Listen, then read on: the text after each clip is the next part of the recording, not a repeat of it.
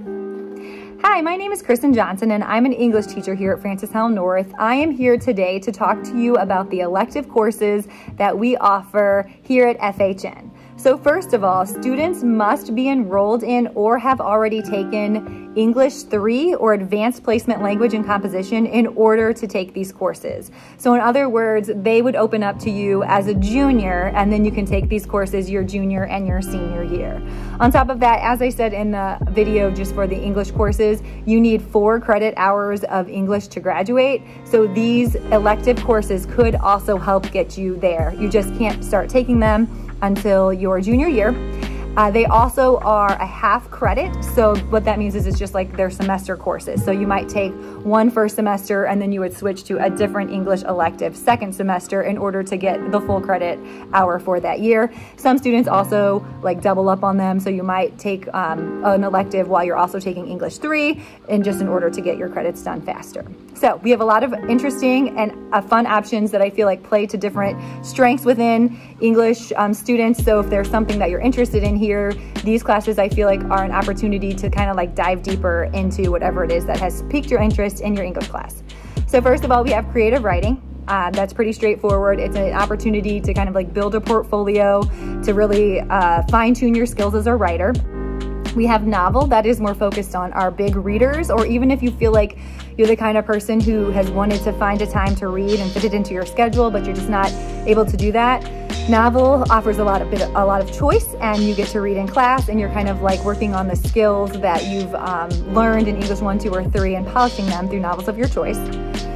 Mythology is similar to novel, except all of the stories, they're more like short stories, they're myths, um, and you get to, we always start with Greek and then we kind of, we try kind of venture into just world mythology.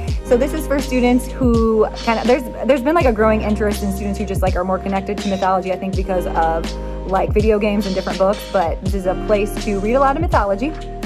Black literature, we focus on our diverse authors. Is just as an example, the anchor text in that class, which is very high interest, is Trevor Noah, Born a Crime. So this would be a place where you focus on the diverse authors and you once again kind of look back at those skills and author's purpose and the historical context of the books and you fine tune your English skills. We have sports literature. Um, it is a course that focuses on a lot of project-based learning.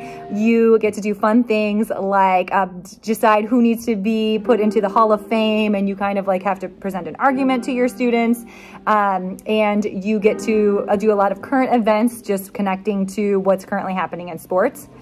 We have ACT Prep, which is actually split with math. So this would be for students who are wanting to get a little bit of extra, very focused ACT Prep.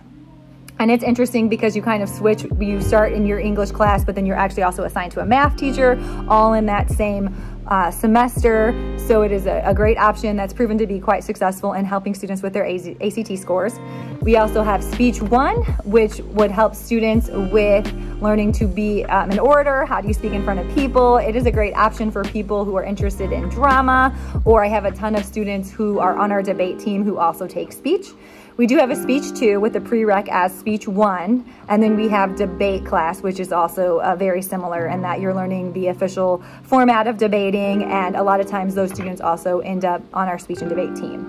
So these courses, as I said, they are all semester long. So a lot of times people might double up. They like might be in black literature first semester, but then they'll be in speech one second semester so that they can get a full credit out of the way. But we feel that our electives have been a place for our students who are interested in English to genuinely express themselves um, in ways that might feel a little more creative or a little more tailored to what it is exactly that you're interested in English.